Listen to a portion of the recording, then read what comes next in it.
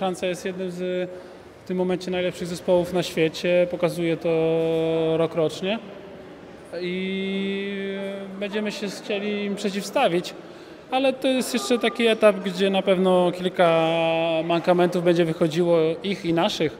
To jest pierwsze spotkanie po tak dłuższym okresie trenowania, więc na pewno gdzieś tam będziemy my delikatnie wolni, ociężali, ale tak jak mówię, to nie jest jeszcze etap Mistrzostw Europy, więc e, spokojnie. A Francuzi, no zobaczymy w jakiej formie, oni na pewno trochę w innym cyklu byli niż my.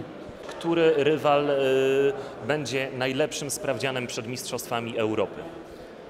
To znaczy, wiadomo, mamy Mistrzostwa Europy, więc drużyny europejskie, Francja, Rosja to są te drużyny, na które na pewno możemy trafić później w Mistrzostwa- w Mistrzostwach Europy w samym turnieju i na pewno mecze z nimi będą bardzo, bardzo cenne i dadzą nam wiele informacji o tym, jak w tej chwili oni grają i czego możemy się po nich spodziewać. Aczkolwiek mecz z Kanadą, która też zajęła trzecie miejsce w Lidze Światowej, jest bardzo mocną drużyną, również nam wiele da. Przede wszystkim są to drużyny na bardzo wysokim poziomie, światowy top, więc, więc lepszego, lep, lepszej próby generalnej przed Mistrzostwami Europy myślę, że może mieć nie możemy.